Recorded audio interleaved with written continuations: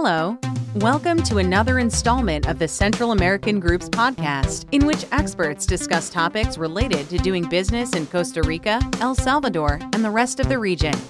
Hello, welcome to another installment of the Central American Group's series of podcasts. We talk to experts in Central America about doing business in the region. Today, we are lucky to have with us a gentleman by the name of Eugenio Quiroz Benenborg. How are you today, Eugenio? Hello, Stephen. Good afternoon. Thank you for this opportunity. Eugenio is uh, the executive director of an organization that uh, oversees free zones in Costa Rica. Eugenio, could you first tell us a little bit about yourself and then about your organization? Okay, Stephen. Hello, everyone. My name is Eugenio Quiroz Benenborg. Um, I'm the executive director of the Association of Free Trade Zone Companies of Costa Rica, AZOFRAS.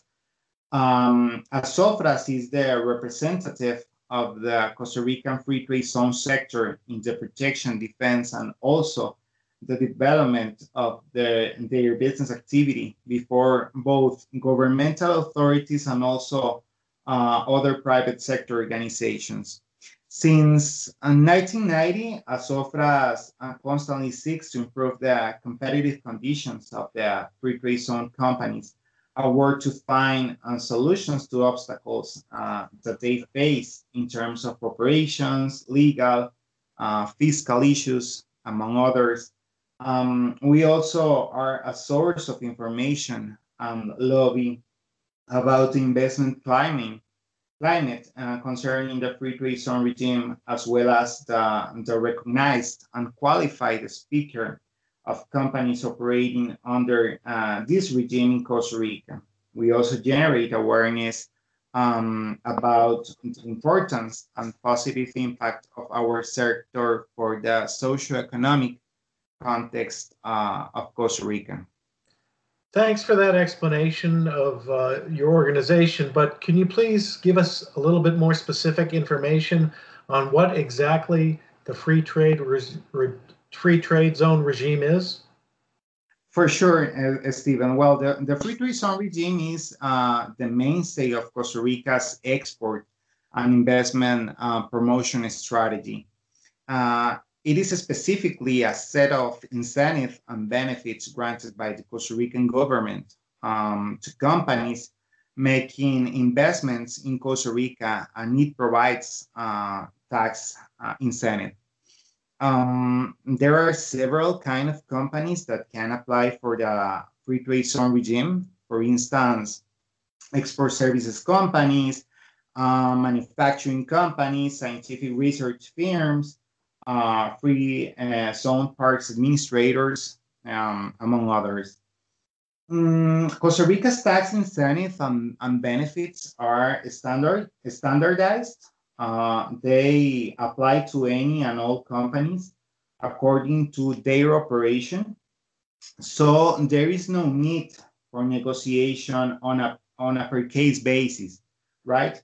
Um, in addition, entities wishing to set up operations in areas outside the greater, greater metropolitan area um, can enjoy uh, greater be- benefits.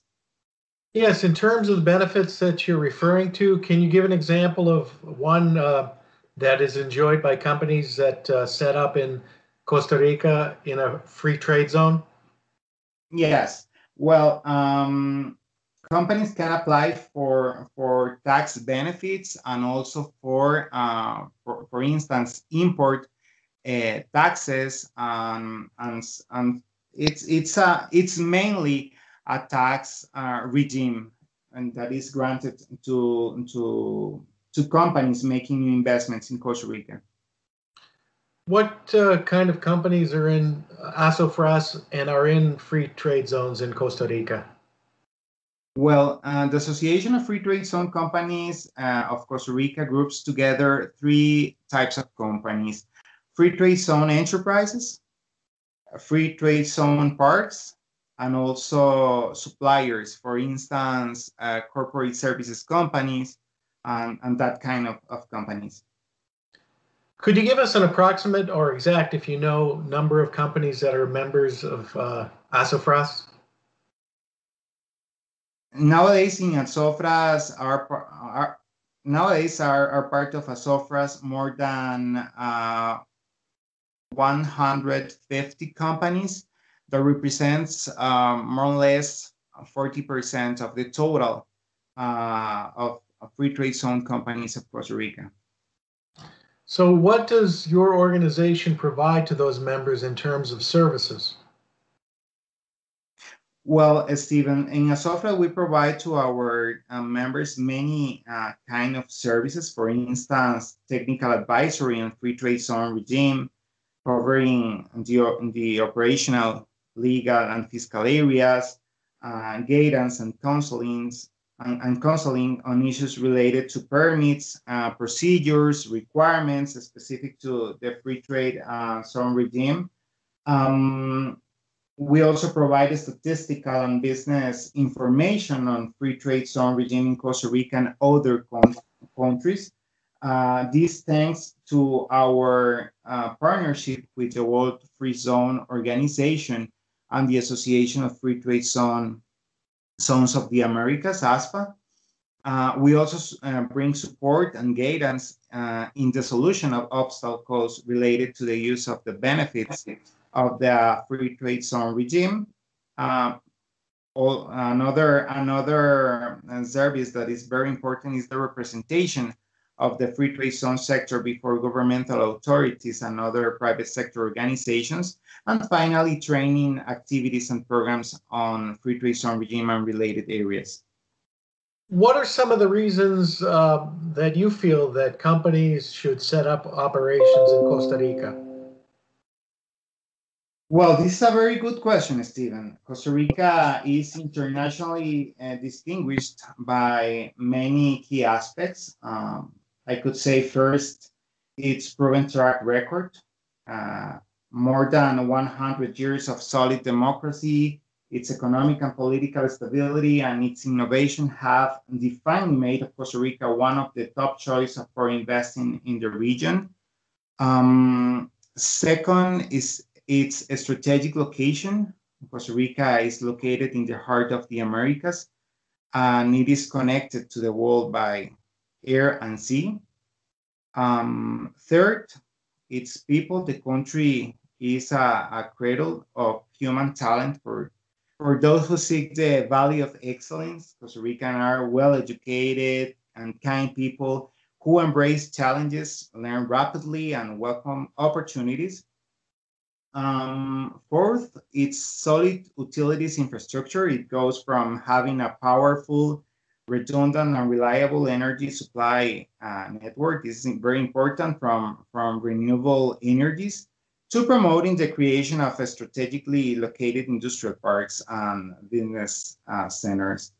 And I could say fifth, the, the great weather. Costa Rica enjoys a perfect climate that provides ideal conditions for several uh, industries and also companies never stop their operations because of blizzards or heat waves.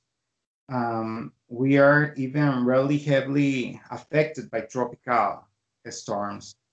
Uh, summarizing, there are just some of the reasons why Costa Rica is the best option to invest. Uh, we, um, we invite you all to discover personally what Costa Rica can offer. Eugenio, could I add one more uh, item to that and uh, beyond what you mentioned? Tell me. It's got wonderful beaches, both on the Pacific and the Atlantic coasts. So that's another. Absolutely. you, you, can you, you can enjoy the country in the nature and also the the business. One of the things that we always do in these uh, podcasts is to ask the individuals that we're conversing with if individuals that are listening would like to get in touch with you, how would they do that? And if you have a website, how would they get to that? Yes, our website is www.azofras.com. You can also find us on Facebook as Azofras, and let's get in touch. Okay, and one other thing do you have an email address that uh, people could use if they wanted to get in touch with you directly? Yes, my email is uh, equiroz at azofras.com. Well, thank you very much for the information. Um, I'm sure that it'll be of interest to people that are looking to do business in Costa Rica. We want to thank you for joining us and wish you a good day. Thank you for listening. Sign up to receive the Central American Group's quarterly newsletter by visiting www.thecentralamericangroup.com.